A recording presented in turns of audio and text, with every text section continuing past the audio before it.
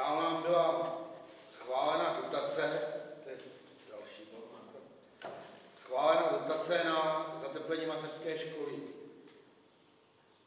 Nám se hlavně jednalo o to, aby jsme tam mohli pořídit nová okna a opravit fasádu. A to se dalo udělat jedině přes tuhle tu věc jako zateplení. Takže muselo být vypsaný výběrový řízení na dodavatele té stavby, kde celá stavba bude stát 2 miliony.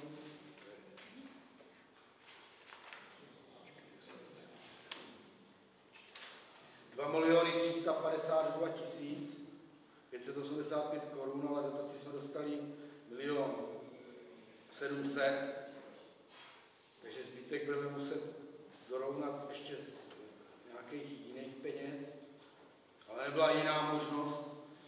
Původně to bylo plánované, takže bychom měli dostat až 85%, jenomže tím, že se tam museli udělat nějaké více práce, které se nedají zaplatit z té dotace, tak jsme to měli v téhle podobě. Takže vyhrála to firma, z výběrových řízení vyhrála firma Ječmínek s nejnižší nabídkou. Je to firma z Pardubic, nikdy předtím jsem ji neviděl. Měli bychom třetího předat staveniště, teďka července, a měli by začnout tak průběžně dělat.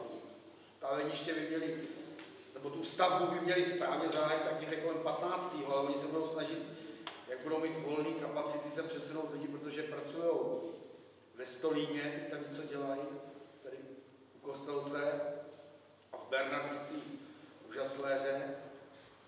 Jako třeba těch referenčních zakázek měli budou nádraží v Červeném Kostelci že jako opravdu nevím, nic jenom, co jsem si ty jejich reference, přečtěte si tady, se chcete komu, tady je smlouva, ta bude vyvěšená, ta smlouva v plným znění na těch stránkách obce, jo, takže i rozpočet a všechno. To mělo být, teď jsme měli ještě problém ve školce, že v nejvyšším patře na záchodech od řidičů praskla přívodní trubička do splachovače a stalo se to v neděli odpoledne, kdy ve školce nikdo nebyl, nebo podvečer, nevíme přesně, kdy se to stalo, protože já jsem tam odcházel po půl jedný, školník říká, že tam byl v 8 večer, že taky nic neviděl a v 9 hodin řidič objevil, že je proteklá školka až do přízemí, a, takže tam je škoda asi za 100 tisíc zhruba na sádro kartonech a takových věcech. Je to nahlášení pojištění.